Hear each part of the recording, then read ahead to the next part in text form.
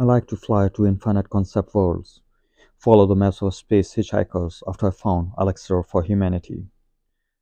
To save world, but the space smoke clouds. I cannot see clearly. I was suffocating. I'm fighting in both scripted battles and random encounters with the battle system featuring real time command and both ships and crew being waiting to distribute spiritual elixir.